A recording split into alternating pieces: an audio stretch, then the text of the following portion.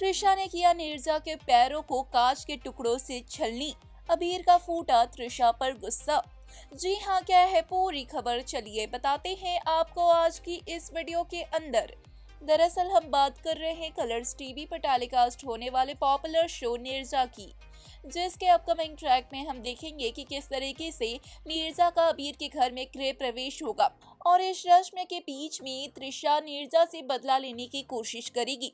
जी हाँ नीरजा को घर में जिस थाल पर पैर रखकर आना था, उस थाल में त्रिशा ने रंगों के साथ साथ कुछ कांच के टुकड़े भी डाल दिए हैं।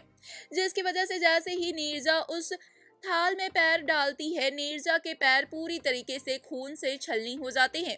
थाल में पैर रखते ही नीरजा को दर्द का एहसास तो होता है, लेकिन नीरजा इस बात का अंदाज़ा नहीं लगा पाती है कि थाल में कांच के टुकड़े हैं।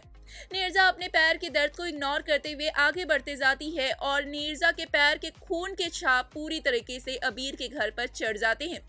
जब अबीर ये बात नोटिस करते हैं कि ये कोई रंग नहीं, बल्कि नीरजा के पैर के खून है तो इसके बाद अबीर का फूट पड़ता है। घर वालों पर गुस्सा।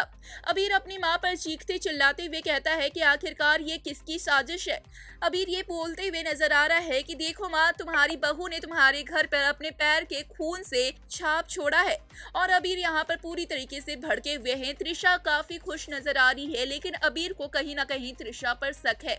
वेल, अब देखना होगा काफ़ी दिलचस्प कि क्या अबीर के सामने आएगा त्रिशा का सच। वेल, क्या लगता है आपको? अपनी राय हमें कमेंट्स में ज़रूर बताएँ। साथ ही ऐसे और तमाम खबरों के लिए चैनल को सब्सक्राइब करें।